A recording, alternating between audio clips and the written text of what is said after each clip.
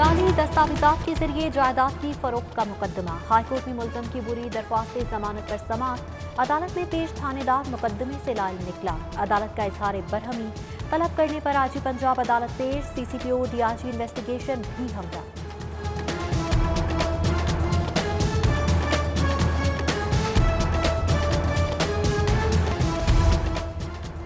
और शाहपुर कांचरा मवेशी मंडी में फायरिंग, दो अफराद जख्मी। जानवर बेचने आए व्यापारी से तल कलामी पर गार्ड ने फायर खोल दिए।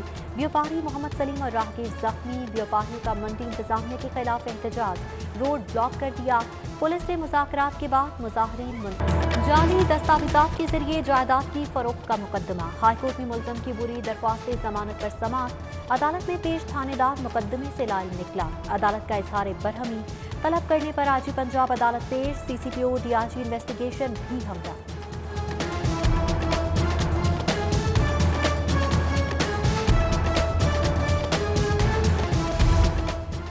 और शाहपुर कांचरा मवेशी मंडी में फायरिंग, दो अफराद जख्मी। जानवर बेचने आए व्यापारी से तल कलामी पर गार्ड ने फायर खोल दिए।